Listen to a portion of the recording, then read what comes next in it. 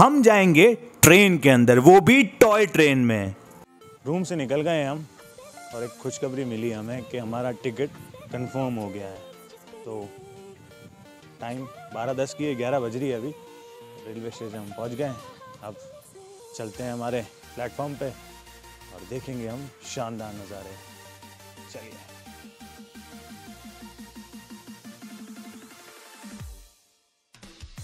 नाम है कालका। वैसे तो आप बस में भी जा सकते हैं शिमला, लेकिन टॉय ट्रेन में जाने का मज़ा ही अलग है। स्टेशन में जब आप एंट्री करेंगे तो सामने ही बोर्ड लगाए ऊपर, शिमला जाने का रास्ता। आगे बढ़ते हुए हमें रास्ते में मिल गया ये छोला कुलचा। ब्रेकफास्ट तो किया नहीं था, इसलिए पहले हमने की पेट पूजा। ये जो नज़ारा आप देख पा रहे हैं, ये हम कुछ ही देरी में खुद एक्सपीरियंस लेने वाले हैं इस नज़ारे का। क्योंकि हमारी ट्रेन आ गई है सामने। ये देखिए, ये है हमारी हिमालयन क्वीन लेकिन ट्रेन में चढ़ने से पहले थोड़ी सी चिप्स और कोल्ड ड्रिंक ले ली जाए, क्योंकि रास्ता पाँच से साढ़े पाँच घंटे का है। यही रास्ता अगर आप बस में या फिर खुद की कार में करते हैं तो सिर्फ़ तीन घंटे लगते हैं। लेकिन जो नज़ारे इस ट्रेन के हैं ना, वो किसी के भी नहीं है। इसलिए मैं तो यही रिकमेंड करूँगा कि आपको अगर शिमला जाना है तो वाया कालका ही जाए। और सिर्फ़ वाया कालका नहीं इस टॉय ट्रेन को ज़रूर एक्सपीरियंस करें। अब मैं तो थक गया, पहले सैंडविच खाऊँगा, उसके बाद ही आगे बढ़ूँगा अब तो। तो ये लीजिए, ये चालू हो गई हमारी टॉय ट्रेन हिमालयन क्वीन। कालका से शिमला जाने तक 103 टनल है टोटल। जब हम कालका के अंदर थे, तब तो मुझे लगा ही नहीं था कि हिमाचल में कभी बर्फ़ होगी भी। क्योंकि वहाँ का टेम्परेचर ऑलमोस्ट 35 डिग्री था। मैंने तो वहीं सोच लिया था कि हम तो लेट हो गए और बर्फ़ हमारी सारी पिघल चुकी है। क्या आप में से किसी को पता है कि इसे टॉय ट्रेन क्यों कहा जाता है? वैसे तो मुझे भी नहीं मालूम कि इसे टॉय ट्रेन क्यों कहते हैं। लेकिन अगर अनुमान लगाएँ तो इसमें सिर्फ़ पता है आपको चार डब्बे होते हैं। और एक डब्बे के अंदर सिर्फ़ तीस जने बैठ सकते हैं। फ़र्स्ट रीजन तो ये होगा और दूसरा रीजन है कि ये चलती सिर्फ़ तीस की स्पीड से। इसकी टॉप स्पीड ही थर्टी ही है। कभी कभी तो ऐसा लगता है कि आप पैदल चल के इससे आगे निकल जाएँगे। लेकिन इसका जो इतना टाइम देने का प्लस पॉइंट है, वो है ये नजारे।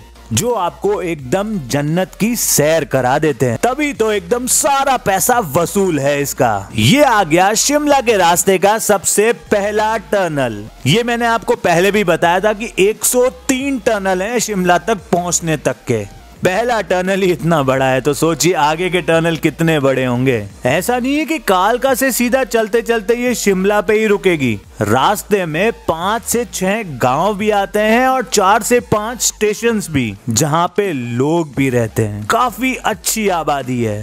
पहला जो स्टेशन आएगा, वो आएगा आठ से दस किलोमीटर बाद। वो ये वाला है। आप जो मेरे पीछे जो स्टेशन देख रहे हैं ना, ये शिमला और कालका के बीच का एक बहुत बड़ा टनल भी है और बहुत बड़ा स्टेशन भी है।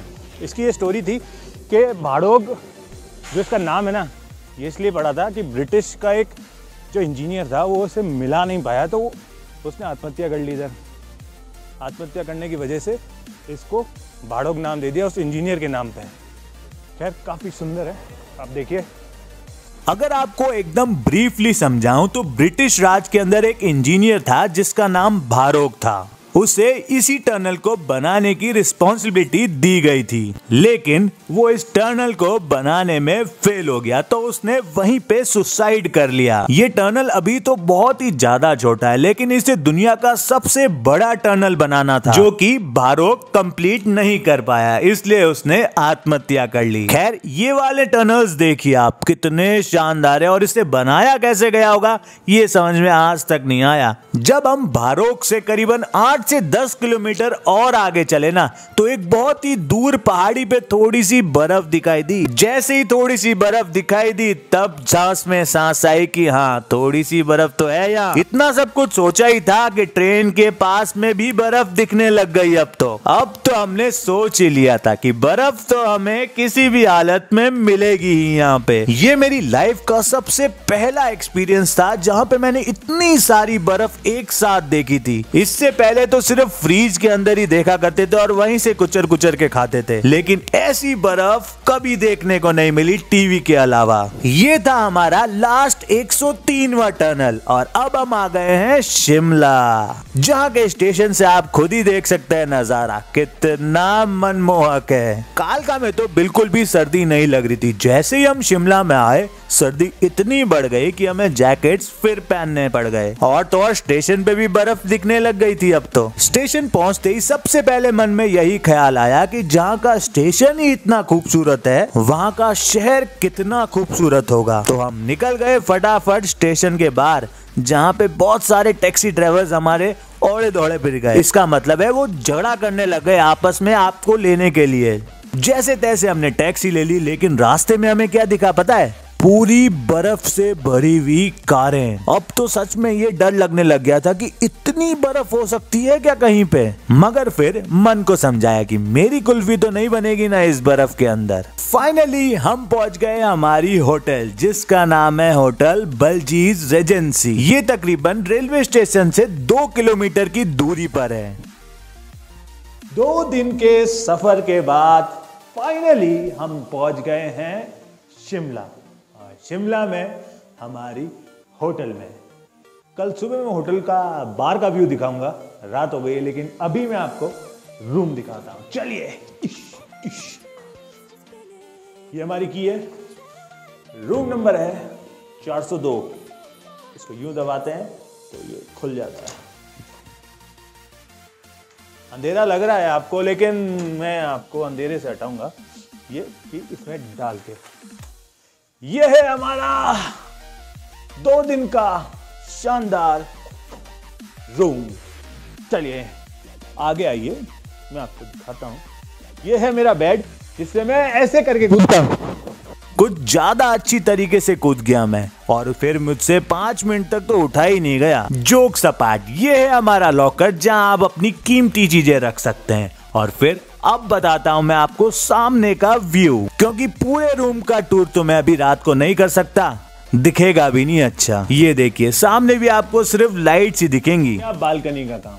अब चलते हैं हमारे बाथरूम की तरफ़। ये है हमारा बाथरूम खाता हूँ मैं आपको।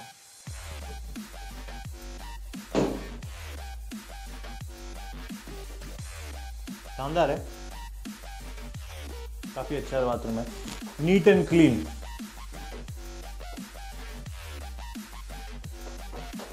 यहाँ तक तो था सिर्फ़ होटल का सफ़र। अब आगे का सफ़र आपको दिखाऊँगा अगले वीडियो में। अगर वीडियो अच्छा लगा तो लाइक, शेयर और सब्सक्राइब ज़रूर करिएगा।